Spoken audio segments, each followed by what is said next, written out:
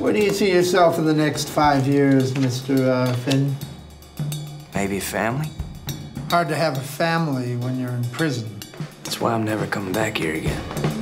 You don't know me unless you know about me and Tom Sawyer. Tom Sawyer? Tom. Tom. Tom. God damn it, Tom! How would you describe your work on the police force in one word? Hero. Hero. Policeman. I would describe your work as policeman. I've got the perfect thing to help you go straight. It's enough money to buy an island. We all know the pawn shop is a holding area for dirty money, stolen goods. Yesterday morning, they got something a little more special. Injun Joe brought something by. What? He's got something so valuable, he don't know how to turn it over.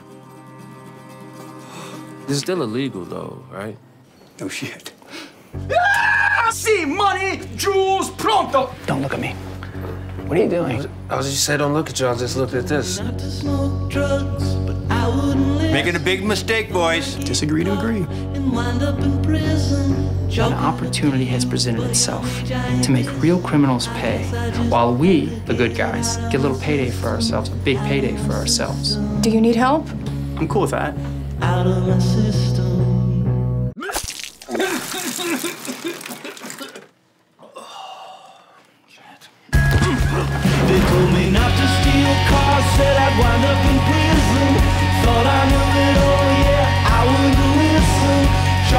to young age, but youth I ain't dissing. I guess I just had to get it out of my system, out of my system. Oh, out of my system. I'm glad I did it all, and I know what I ain't missing. Glad I went and got it all out of my system.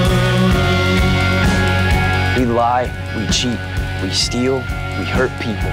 That's not what heroes do.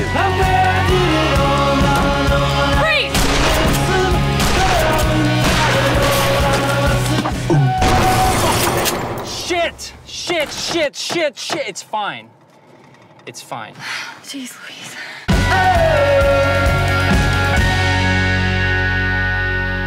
Tom, I'm gonna quit now. Thought this whole thing was like Amway or Herbalife or something, man.